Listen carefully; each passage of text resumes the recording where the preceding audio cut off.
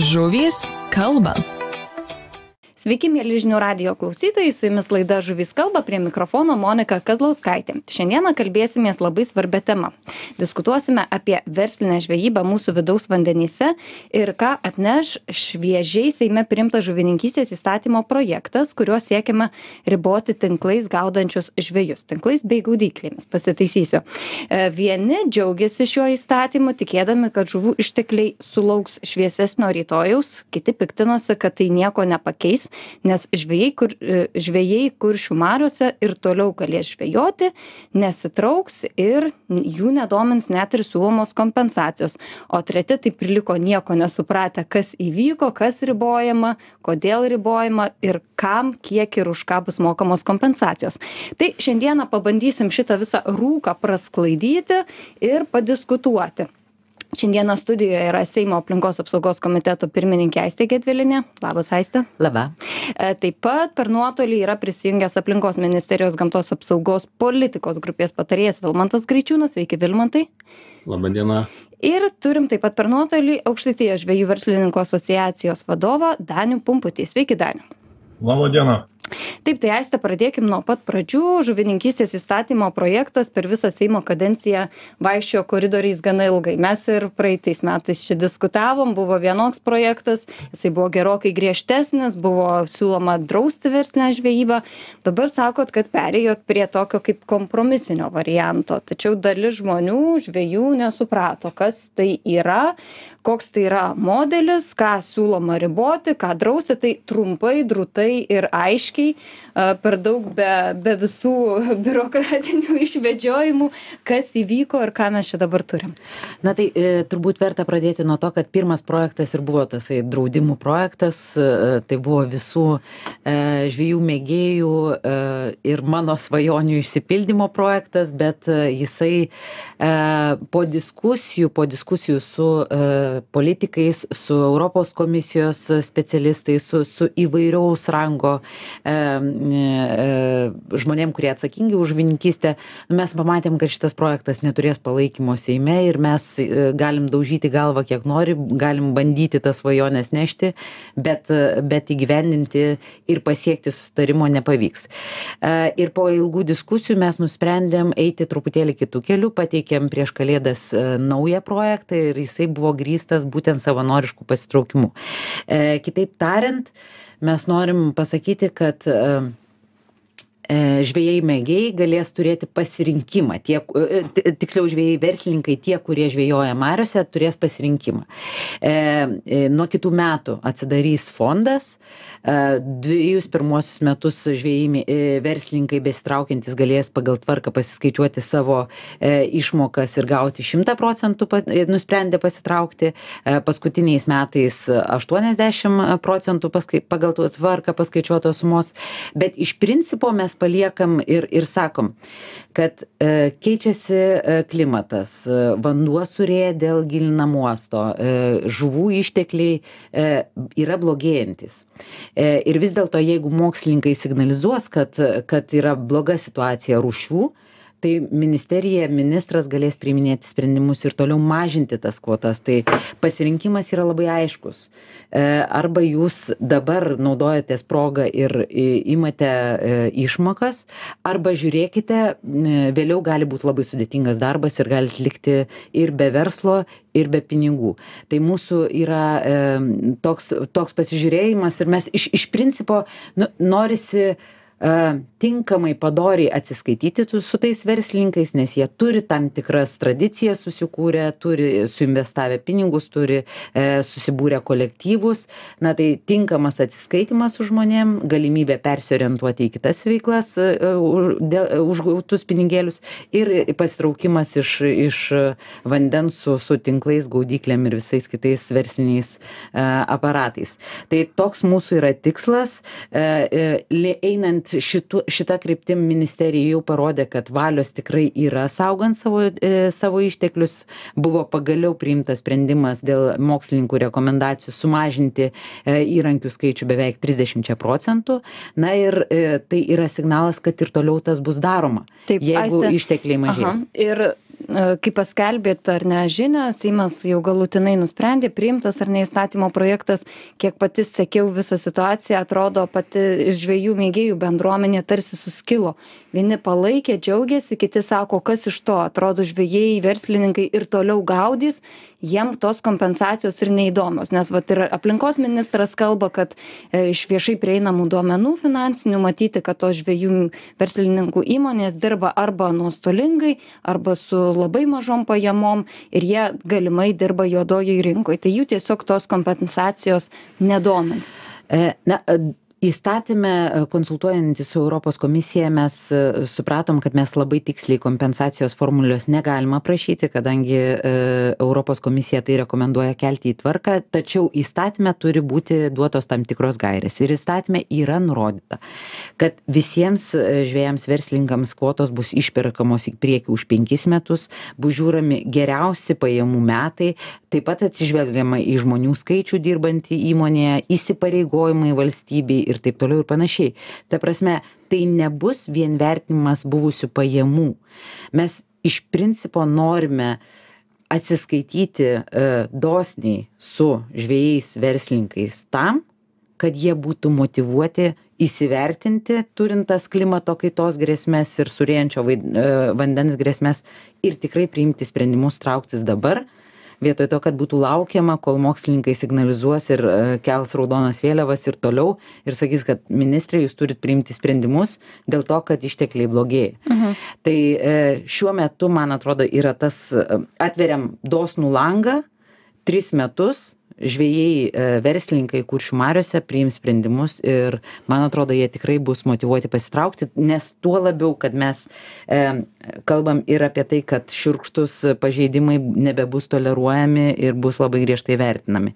Jau seime užregistravau e, įstatymo pataisas dėl e, e, verslinės žvejybos ir mėgėjiškos žvejybos taisyklių pažeidimų. Tai kitaip sakant dėl brakonieriavimo arba versle arba arba mėgėjiškoj žvejyboj. Ir tie tos baudos kurios grės jos bus nu tikrai labai labai didelės Mhm. ženklios Taip, Tai- apie tai- kvotas tai- dar mes ir, ir apie baudas, ir apie kvotas, jeigu spėsim, dar tikrai pakalbėsim, bet dar lieka tas kvotų klausimas, sako, ar ne?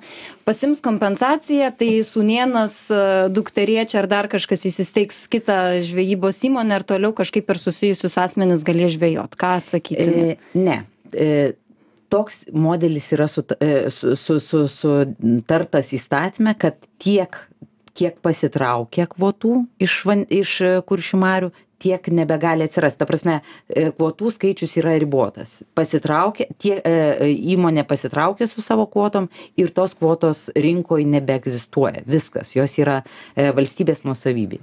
Mhm. Ir, ir jeigu, tarkim, lieka 150 kvotų, e, 150 įrankių, tai tiek ir lieka. Daugiau jų neatsiranda. Tai tarkim, jeigu visiškai nauja įmonė atsiranda, tai jūs tiesiog jiem neturi- nesuteikėt galimybę taip. žvejot. Jie neturi įrankių. Mhm.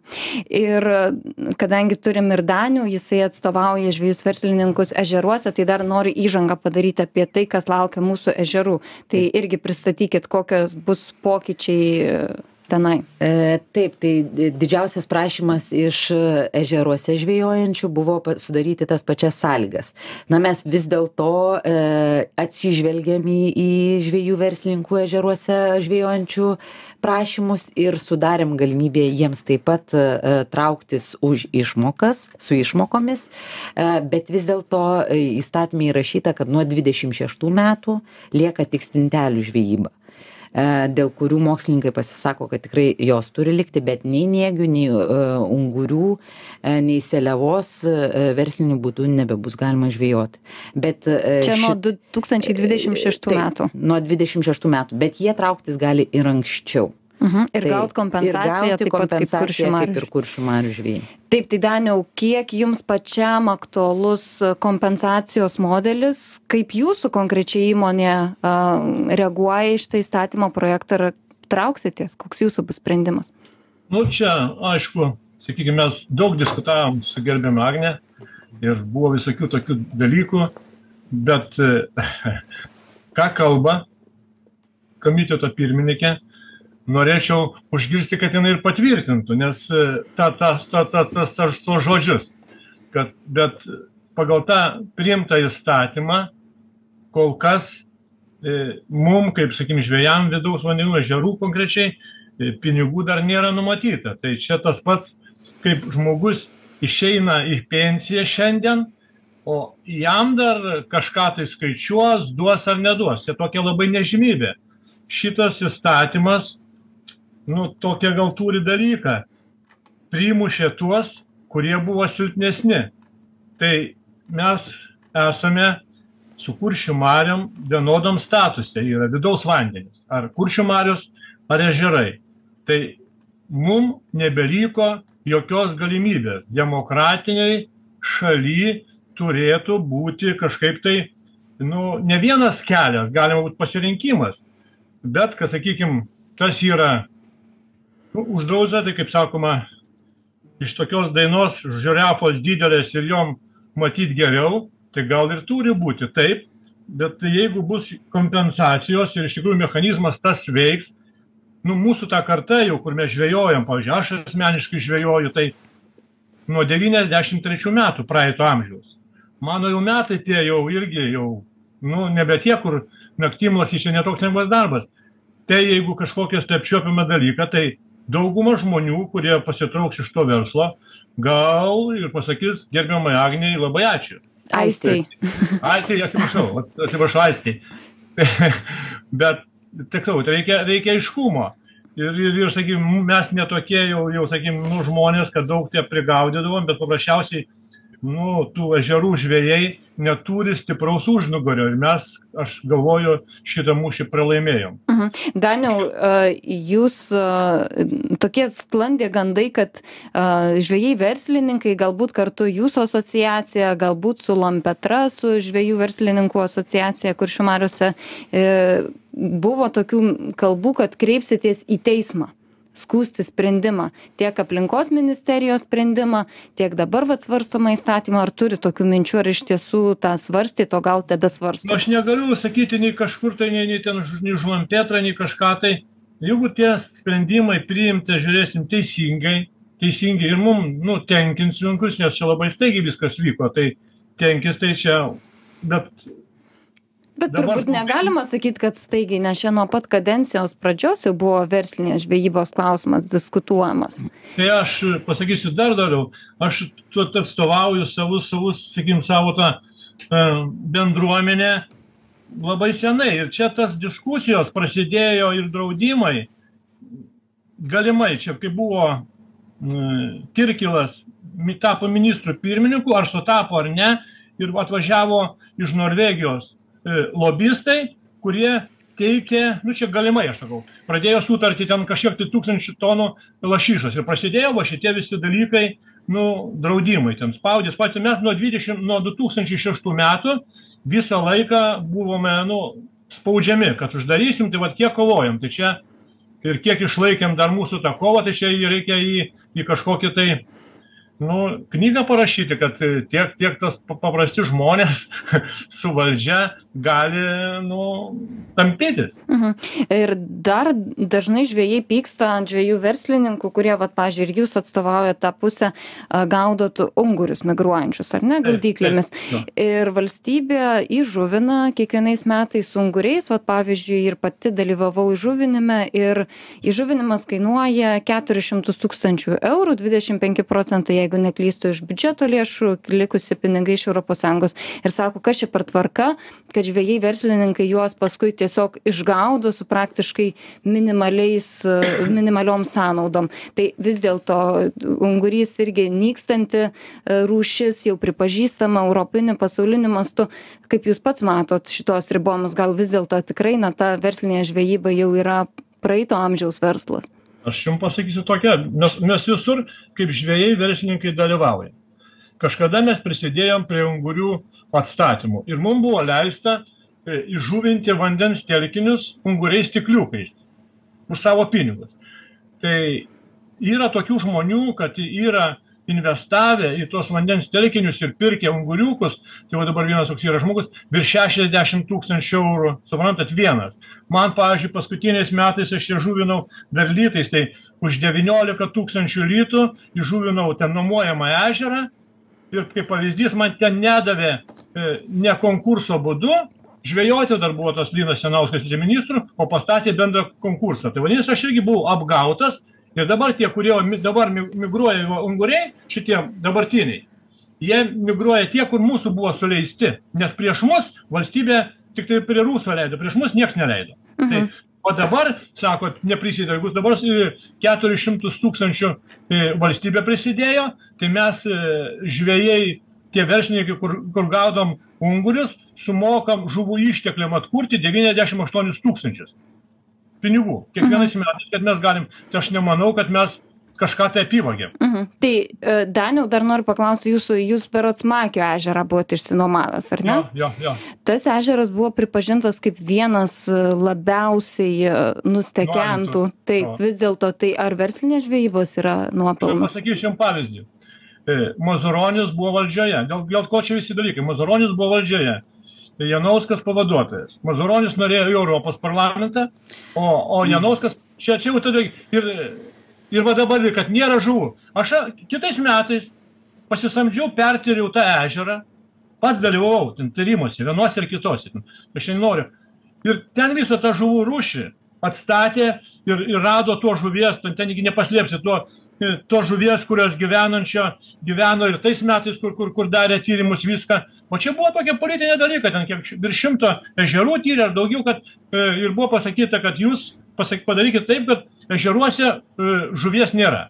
Nu, kad už, uždrautų žvejybą, nes jiems reikėjo politinės reklamos. Tai va čia, nu, šito čia yra. Turbūt, žinot, jūs sakot, kad nupirktas galbūt tyrimas, bet žvėjai mėgiai irgi nu, tai sakė, kad niekada nieko nepagaudo. Dar noriu Vilmantui prieš pertraukėlę suteikti žodį. Noriu respondyti, nereikia pletkavoti, ko nežinote. Tai aš... Iš ežerą ir jūs žvėjai pamatykite. Ten a, Aš kalbu apie tai, ką kolegos iš Delfi buvo parašę.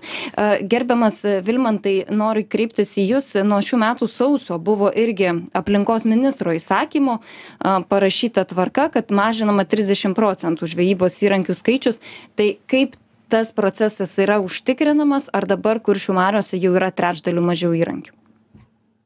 Taip nuo sausio pirmos jau yra trečdaliu mažiau įrankių o kaip užtikrinama tai galima iš to vieno pavyzdžio kai čia uab riepa buvo e, e, sugauta piknaudžiaujant tais žvejybos įrankiais nesilaikė to sumažinto limito ir pastatė papildomą įrankį tai ieškinys penkiasdešimt tūkstančių eurų Mhm. O įrankiai sumažinanti trečdaliu kai kurių tų kenksmingiausių įrankių kurie sakykim keturiasdešim penkiasdešims milimetrų tie tinklaičiai kuriuose daugiausiai sugaunama e, sterko neverslinio dydžio tai sumažinta daugiau nei trisdešimt procentų e, praktiškai per pusę jų sumažintas kiekis. Kitų įrankių sumažinta mažiau bet vidutiniškai apie trisdešim procentų įrankių sumažėja Mhm. Ir klausimas yra, kiek va, ta kontrolė yra užtikrinama, nes jeigu viena įmonė įkliuvo, ar kitos irgi paraleliai taip tikrinamos, kratomos? E, be abejo, visos įmonės tikrinamos vienodai. Klausimas daugam aktualus yra apie tą numatomą kompensacijos modelį. Aistė jau šiek tiek pristatė, galbūt jūs Vilmantai papildysit, kad bent jau įsivaizduot, apie kokį mes biudžetą kalbam, kiek gali žvėjam verslininkam na, kiek jie gali gauti į tą kompensaciją, koks jos gali būti dydis? E, biudžetas numatytas 6 milijonai. E, pirmais metais, 24 metais numatoma didžioji dalis to biudžeto, planuojama apie 4 milijonus, kad paskatint žvėjus greičiau trauktis iš verslo.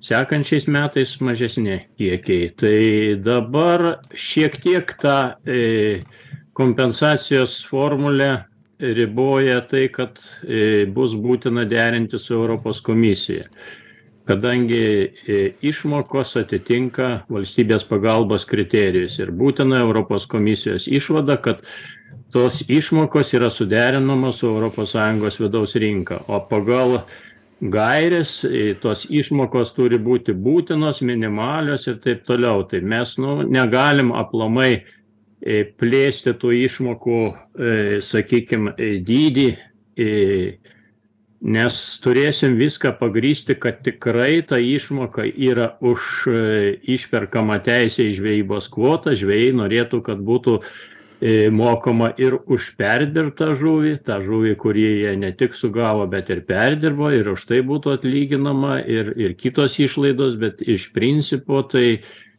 netgi kas būtų garantuota, tai tik tai teisė į žvejybos kvotą išpirkimas e, rinkos kainomis, e, kam pritartų tikrai Europos komisija, bet ta rinkos kaina yra labai nedidelė. Tai e, tokiu modeliu mes jį irgi svarstėm, bet tikrai žvėjai neišeitų iš verslo, o dabar aš sakyčiau vienių penkių metų pajamos įmonės ir pajamos vėlgi, ką ir minėjo, komiteto pirmininkė, tai būtų e, skaičiuojama paskutinių metų e, rinkos, e, tai yra pirmo, pirminio pardavimo kaina, ne, ne tų metų, kurie buvo 18 metais pirminio pardavimo kaina buvo sakykime, jau ko gero du kartus mažesnė nei, nei, nei šiais metais. Tai. Uh mhm. -huh. Taip, tai, tai sakyčiau, gana solidžios išmokos, o laivai tai vėlgi įmonės turės galimybę pasirinkti arba laivą demontuoti ir gauti už laivą e, jo likutinę vertę arba pagal turto vertintojų įvertintą vertę arba tą laivą pasilikti. E, mhm. Bet laivas bus e, privaloma laivą išregistruoti iš vidaus vandenų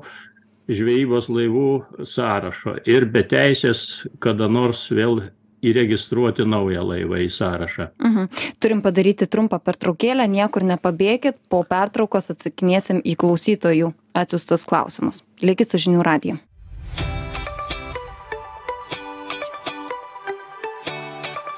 Žuvys kalba. Sveiki sugrįžę, su jumis laida Žuvys kalba, prie mikrofono Monika Kazlauskaitė. Toliau kalbamės apie versinę žvejybą, apie numatomus ir įstatymų jau priimtus e, ribojimus. Toliau kalbamės su Seimo aplinkos apsaugos komiteto pirmininkė Aistė Gedvilėne, aplinkos ministerijos gamtos apsaugos politikos grupės patarėjų Vilmantų Graičiūnų bei Aukštaitijos žvejų verslininkų asociacijos vadovu e, Daniumi Pumpučiu. Tai prieš pertrauką Vilmantas pristatė apie kompensacijos modelį ir dažnam žvejui kilo klausimas. Kalba ėjo apie kuršių marias apie mūsų ežerus o kas vyksta dėl baltijos priekrantės? Kaip suprantu šita zona liko nepaliesta. Šita zona liko šiuo įstatymu nepaliesta bet aš jau girdžiu seime iniciatyvų prie kurių aš mielai prisidėsiu dėl tinklų atitraukimo nuo uh, vartų. Tai šita šita iniciatyva tai manau kad būtų labai gera ir savalaikė Mhm. Čia, kaip suprantu, vat, irgi buvo neseniai Facebook'e video, kur buvo matyti palei visą Baltijos priekrantį tinklai, ar ne, tai kalbam apie tai, kad tai užkre, užkre, už, užkerta, atsiprašau, migracijos kelius, ar ne, žuvims? E, taip, mes pirminiam projekte buvom ir priekrantės klausimą bandėm spręsti ir tikrai e, bent 300 metrų atitraukti tinklus, atlaisvinti e, barus prie tiek šventosios intako, tiek jūros vartų bet bet kadangi mes matom kad kai eini labai plačiai tada labai sunku susitarti E, labai daug suinteresuotų pusių, labai daug gynėjų, tada Seimo narių balsai krenta, krenta, krenta ir tu matai, kad nebeturi daugumos. E, be to, dėl e, kompensacijų, kadangi mes bandėm ir iš ten atitraukti verslą, tai tas kompensavimo paskaičiavimas pasidarė labai sudėtingas ir tada jau bendros formulės nebūtumėm galėję pritaikyti ir kuršiumarius, ir kuršiumariams, ir vidaus vandenims, ir, ir priekrantį. Tai mes atsisakėm šito, šito sprendimo šitų projektų. Mhm. Vilmantai, kokios būtų galimybės aplinkos ministerija, kaip vertintų tokį sprendimą, nes čia verslinė žvejyba reikia turbūt ir klausytam primint, kad reguliuoja Žemės ūkio ministerija didelė dalim, kuri iš dalies ir stabdo įvairias iniciatyvas. Tai ką šituo klausimu aplinkos ministerija galvotų? Aplinkos ministerija be abejo pritartų tam, nes Tai ką ir minėjo komiteto pirmininkė, ta mokslininkų išvada mažinti žvejybos intensyvumą trečdaliu, tai buvo Baltijos jūros priekrantiai ir kuršių mariams. Tai priekrantiai kol kas tas versnės žvejybos intensyvumas ir nėra mažinamas. Ir vėlgi pritarčiau komiteto pirmininkai dėl tų tinklų atitraukimo nuo upių žiočių. Latvijai, sakykime, prie visų upių žiočių yra draudžiama žvejyba bet kokiais įrankiais vieno dviejų kilometrų spinduliu o nuo ten bet kurio šaltinėlio tenai grioviai tekėjimo vėlgi keturi šimtai metrų draudžiama žvejyba pas mus nuo šventosios žiočių ir tai tiktai tuo lašišų migracijos laikotarpiu draudžiama visais įrankiais o kur pagrindinis yra kelias į į klaipėdos įplaukos kanalą ten žvejyba draudžiama tiktai paviršiniais e, e, tinklais. Tai yra plūdė gali būt panirus kad ir ten centimetrą ir jau viskas gerai Mhm.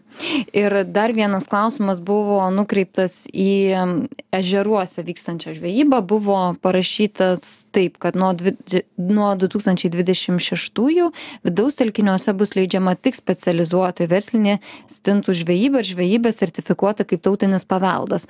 Tai kas tai yra?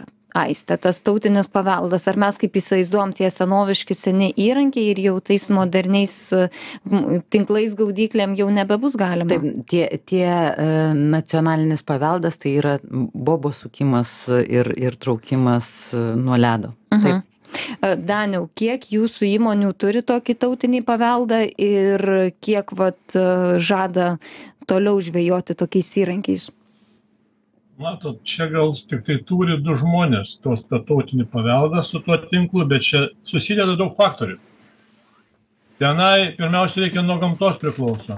Reikia ledo reikia tų žmonių ir panašių dalykų. Tai kaip matome to tie tie tos žuvys sakykim tos stintelės dar kažkuose veisiasi dideliuose ežeruose giliuose tai praktiškai aš nematau šanso tiem žmonėm kurie turi tą tautinį paveldą tęsti darbą nes gamtinės sąlygos jiem jau keletą metų nepalankios ir aš manau kad ir toliau bus nepalankios. Tai čia yra tiktai nu toks dalykas palikimas žmogui kad nu tu kep tą duoną bet nieks jom nebe ne ne negalės jos iškept nes malkų neturėsi. Tai va čia tas pats čia su tais o o mes ir taip sakykim apie tą visą verslinę žvejybą jeigu kalbant tai jau tryliktais metais mūsų ta žvejyba buvo uždrausta kur mes žvejojom įvairią žuvį. Tai buvo mūsų va dabar ir likę tiktai specializuota seliavų žvejyba. Tai tos ir ir ungurių tai nežinau ką mes maišėm tuos ungurius žvejodavom naktį nei žvejai mėgėjai dar šalta.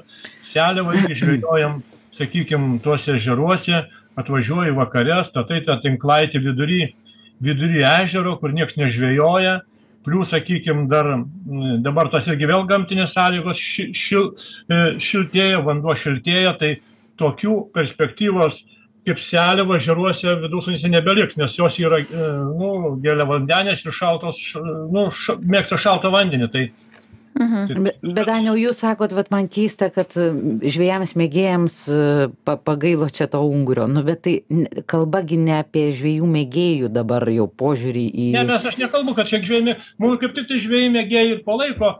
Ir aš su, su tuo sutinku, ir kaip diskutavome per, per jūsų kanalą, ir jūs sakė, išleiskite šitos varguolius oriai, ir sakykim, kad jie, sakykim, žmonės išeitų su pakelta galva. Tai dabar aš ne apie tai išneku, tik tai yra du faktoriai, kad viskas užbraukia kad jokio ten sakykim ar į kairę ar į dešinę visiem reikia išeiti. Ir be jeigu norės išeiti neturi dar to mechanizmo kas turės mum mokėti. Va čia yra nežinomybė. Tai taip mhm. pat tai jūs kaip e, suprantu e, žiūrėkit noriu sureaguot. Kas mokėti yra aišku. Yra e, biudžetinė įstaiga aplinkos ministro paskirta yra suplanuota kad bus planuojami pinigai tie šeši milijonai per tris metus. Tiesiog ežeruose vidaus vanden ežerai ir upės yra iki dvidešim šeštų metų. Tai reiškia abejais metais nuo kitų metų pradžios jeigu tikrai notifikacija praeis ir viskas bus gerai. E, e, žvejai verslininkai iš ežerų traukiasi ir gauna išmokas. Tos išmokos e, vat vilmantas šiek tiek jau pristatė ką modeliuoja tvarkose rašyt bet mes negalime. Teisėkūra yra tokia. Tu negali nepriėmus įstatymo patvirtinti tvarkos nes tiktai įstatymui esant atsiranda pagrindas priimti tą tvarką.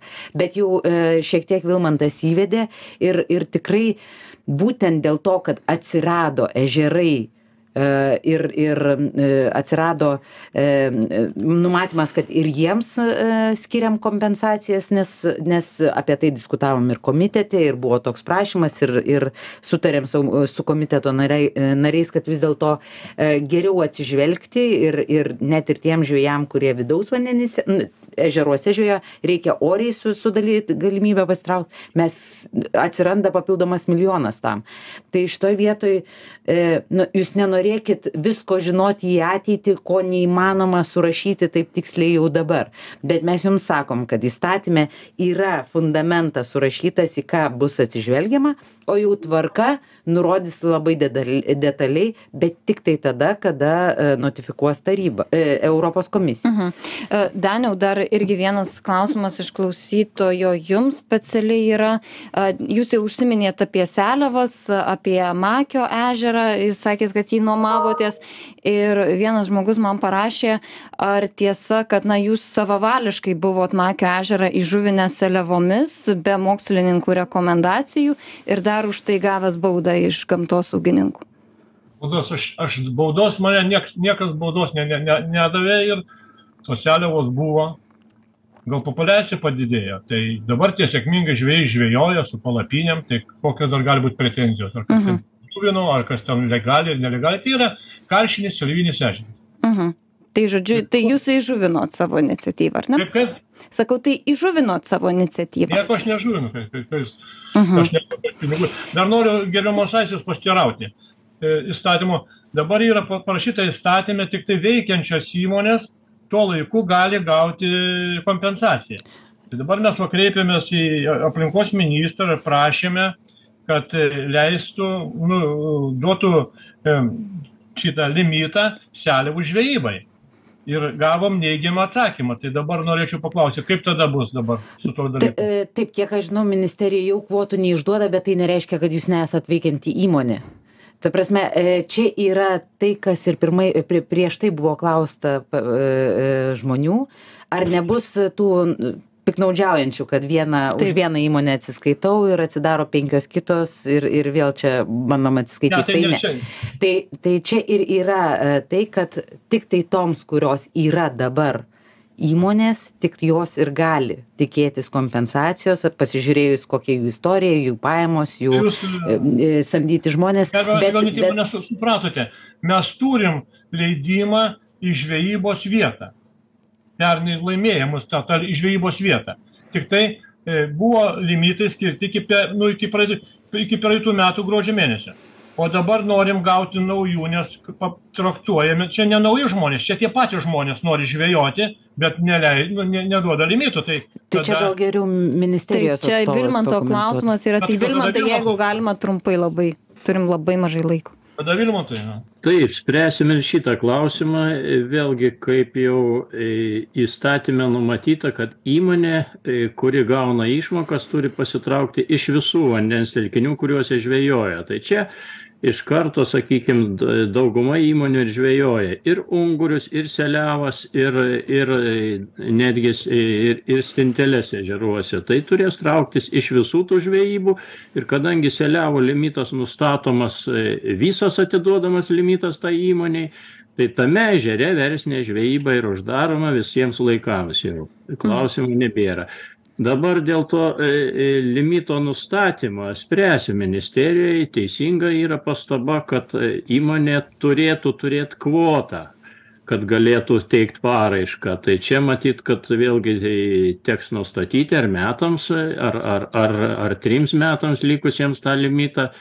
Bet vėlgi čia, ką ir Konstitucinis teismas yra išaiškinęs, valstybė turi teisę uždrausti ūkinę veiklą, e, bet tokiu atveju jai atsiranda pareiga e, kompensuoti teisėtus lūkesčius. Tai čia būtų e, to konstitucinio teismo sąlygų įvykdymas, bet iš anksto savanoriškas pasitraukimas iš verslo.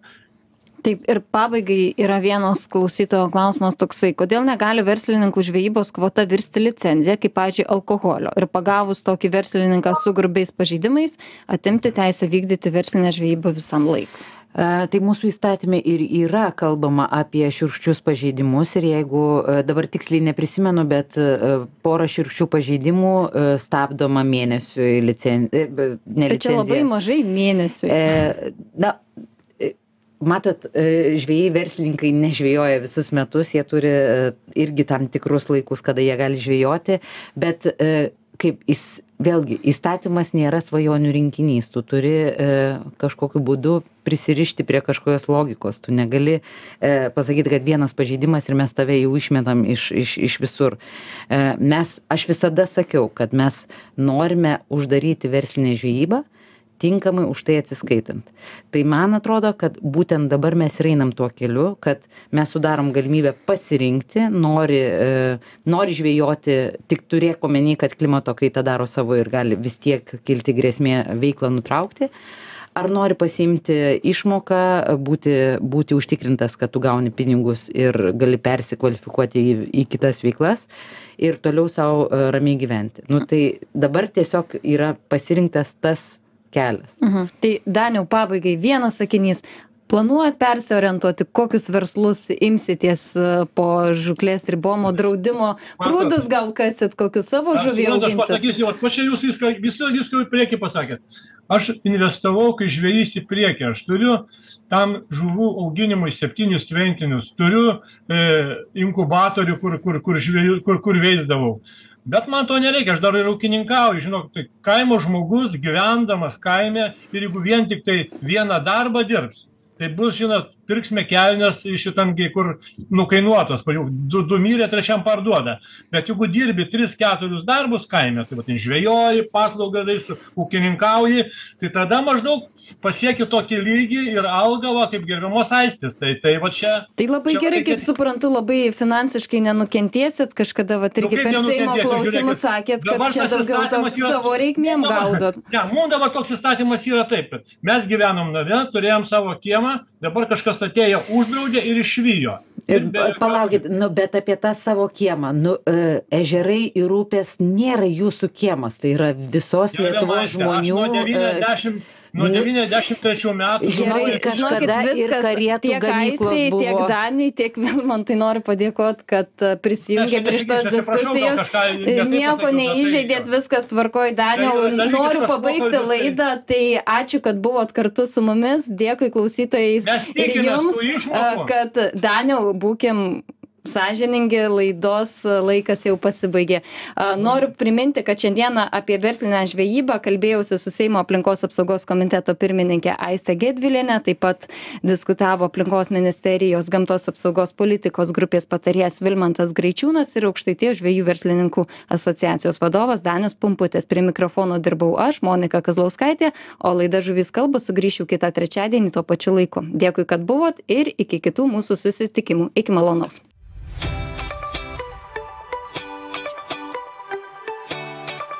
Žuvys kalba.